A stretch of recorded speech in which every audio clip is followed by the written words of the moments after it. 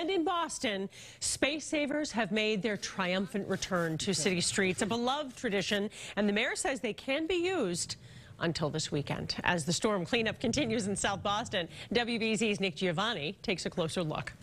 Boston's snow emergency and parking ban ended early this morning, but people still had to contend with snow-packed sidewalks and cars literally encased in snow.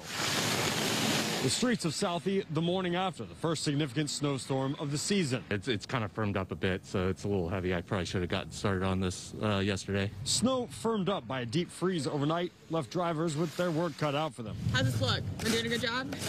Scraping and shoveling their way to leaving their parking spaces in the rear view.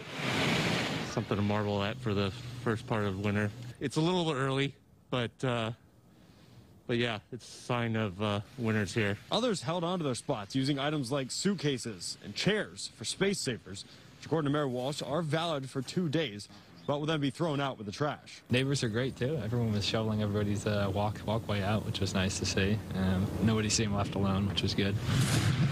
Some not only shook off the foot of snow, but embraced it for adding some sense of normalcy to 2020. No big deal. Expected. It's December, so Here we go, huh? life is normal in a way. The property owners had until 10 a.m. to clear off sidewalks and ramps around them, while Boston Public Schools reopened to students currently learning in person. Reporting in South Boston, Nick Giovanni, WBZ News.